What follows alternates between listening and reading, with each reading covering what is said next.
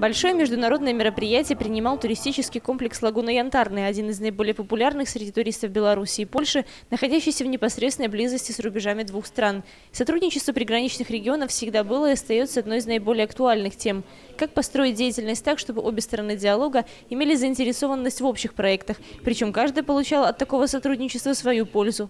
Об этом и не только шел разговор в рамках белорусско-польской подкомиссии. Надеемся, что эта атмосфера, атмосфера совместной работы поможет нам устранить те барьеры, которые существуют между нами сегодня. Взять в пример ту же границу, где иногда бывают вопросы по скорости перемещения. Возможно, наше активное взаимодействие позволит как-то ускорить и этот процесс. Нам интересен этот процесс и важно использовать все его возможности и привилегии. Мероприятие в этот раз проходило в рамках Белорусско-Польской межправительственной координационной комиссии по делам трансграничного сотрудничества. На повестке дня обсуждение совместных проектов для правоохранительных, природоохранных, санитарно-эпидемиологических и ветеринарных служб, мероприятия по предупреждению ликвидации чрезвычайных ситуаций и работе в сфере таможенного контроля. Это во благо того, чтобы упростить эту систему контроля, прохождения границ, обмена товарами, ну еще решение ряда вопросов.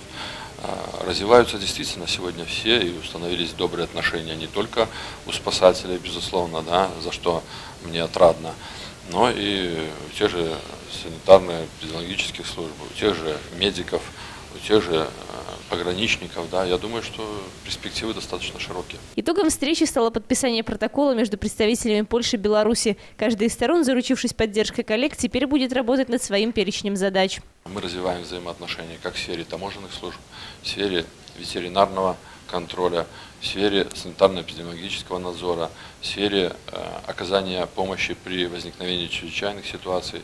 Подтверждением ярким этому являются те цифры, которые тех международных проектов технической помощи, которые я могу сегодня озвучить.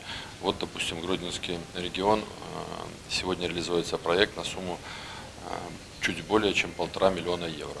Если брать Брестский регион, то совместный проект сегодня реализуется на сумму порядка 4,5 миллионов евро. Я думаю, что это неплохие результаты нашей работы.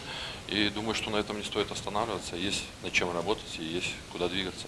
Анастасия Ноздрин, Плотницкая, Эдуард Букунович, Дмитрий Лазарчук, телекомпания Бук ТВ.